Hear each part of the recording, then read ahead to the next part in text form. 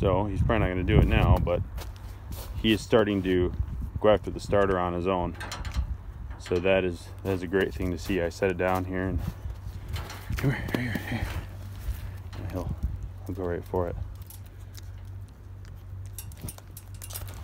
He likes it.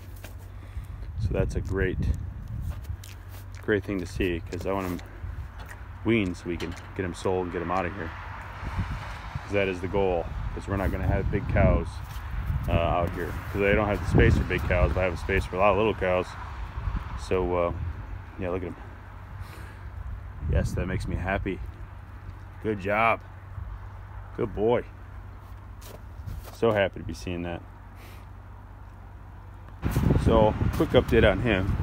He's kind of nibbling at it, but he's got some some funky poops going on. They don't stink, so I don't think I'm not concerned about it, but I, he was kind of getting some loose stool, so I did give him some eggs and uh, in his bottle. So I, I know some other one I give him eggs, kind of a funky poop. So I'm not too concerned yet because he's in great shape. He's doing good. Big strong boy. I think he's nibbling on his his uh, starter too. Um, yeah, you get big and strong.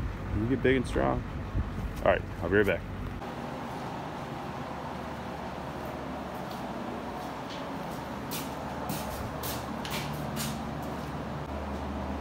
Yeah, I'm thinking I'm gonna wire this one together so I can swivel it out of the way. I'm gonna try it, at least on one.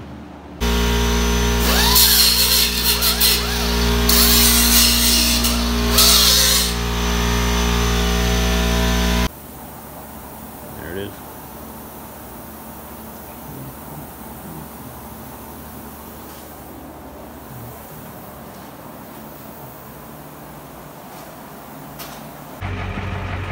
All right, before I load this up, did this one a little different. So you see how it's wired on this side, and then it's, here, let me see if I can climb in here real quick.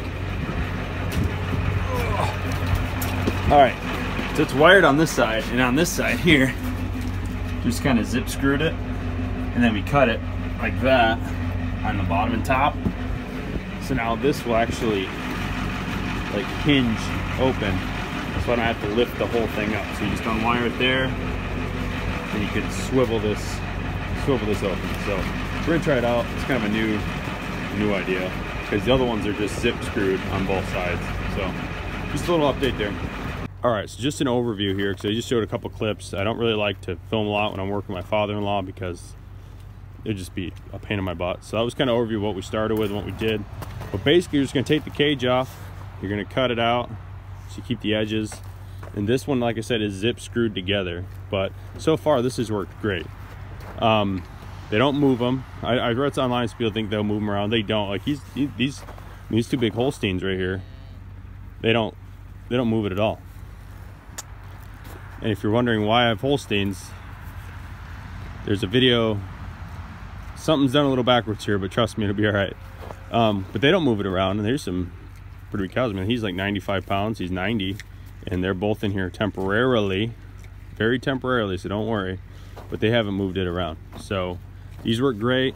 Uh, if you can get a deal on these, way cheaper than buying like a commercial calf hutch. So I was just anyone looking to kind of get going on a budget, kind of bootstrapping. These work amazing.